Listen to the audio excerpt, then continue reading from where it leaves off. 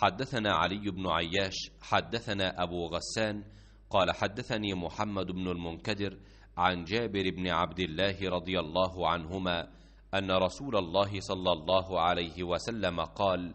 رحم الله رجلا سمحا إذا باع وإذا اشترى وإذا اقتضى.